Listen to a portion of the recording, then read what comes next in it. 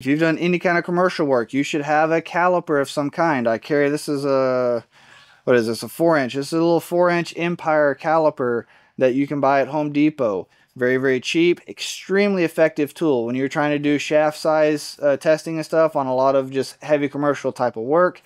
These are fantastic. Now obviously it's only four inch, so we get shafts that go way bigger than that.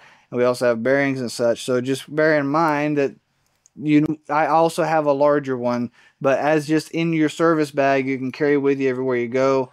That little four inch caliper, in my opinion, is a must have, uh, I, despite chiller work or not. Uh, carrying a set of uh, ratchets with a socket set. So I personally keep a set of standard sizes. Most of the chillers I service, they're all in standard. They're not metric.